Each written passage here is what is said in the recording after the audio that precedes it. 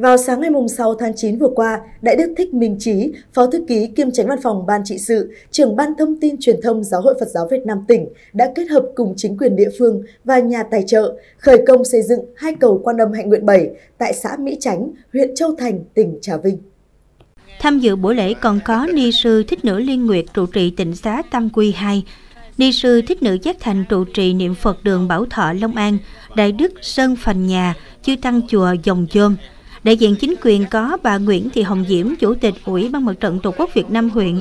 ông Dương Huy Bảo, Chủ tịch Ủy ban Nhân dân xã cùng các cấp chính quyền địa phương sở tại. Phát biểu tại buổi lễ, Ni sư Thích Nữ Liên Nguyệt đã gửi lời tri ân đến Đại Đức Thích Minh Trí khi tạo thiện duyên cho đoàn có cơ hội chia sẻ một phần khó khăn vất vả với bà con, cũng như sự phát tâm giúp đỡ của quý mạnh thường quân gần xa khi đã chung tay hỗ trợ cho bà con nơi đây có được những cây cầu mới, giúp cho việc đi lại của mọi người được dễ dàng thuận tiện hơn. Thay mặt cho người dân nơi đây, ông Dương Huy Bảo đã gửi lời cảm ơn đến Đại Đức Thích Minh Trí cùng tất cả thành viên trong đoàn. Ông cũng cho biết xã Mỹ Chánh với hơn 300 hộ dân thuộc diện hộ nghèo, các cơ sở vật chất còn thiếu thốn. Tuy được sự quan tâm của chính quyền cũng như sự hỗ trợ của mạnh thường quân, nhưng với địa hình sông ngòi bao quanh nên giao thông đi lại còn nhiều hạn chế.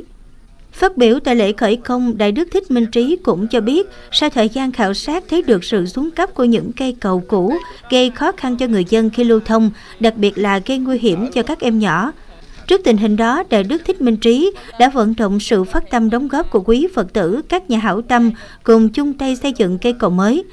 Đại Đức đã gửi lời cảm ơn quý ni sư cùng quý mạnh thường quân trong đoàn đã tài trợ cho địa phương có những cây cầu mới giúp người dân lưu thông hàng hóa, các em học sinh đi học được dễ dàng, an toàn, thuận tiện hơn. Hai cây cầu quan âm hạnh nguyện 7 được khởi công tại xã Mỹ Chánh với chiều dài 18m, ngang 3m và 26m, ngang 3m với tổng kinh phí là 400 triệu đồng do quý Phật tử tịnh xá Tâm Quy 2 cùng quý mạnh thường quân gần xa tài trợ, bà con địa phương góp ngày công xây dựng. Cuối buổi lễ, Đại Đức Thích Minh Trí đã cùng đại diện nhà tài trợ và chính quyền địa phương thực hiện nghi thức động thổ xây dựng trong niềm hân hoan của tất cả mọi người. Trước đó, Đại Đức Thích Minh Trí đã cùng đoàn xuống khảo sát cầu giao thông nông thôn tại ấp Bầu Sơn, xã Mỹ Chánh. Đây là cây cầu nối liền hai ấp Bầu Sơn và Hương Phụ B, sau khi hoàn thành sẽ là tiền đề giúp bà con hai bên bờ sông thuận tiện hơn trong việc giao thương hàng hóa, phát triển kinh tế tại địa phương.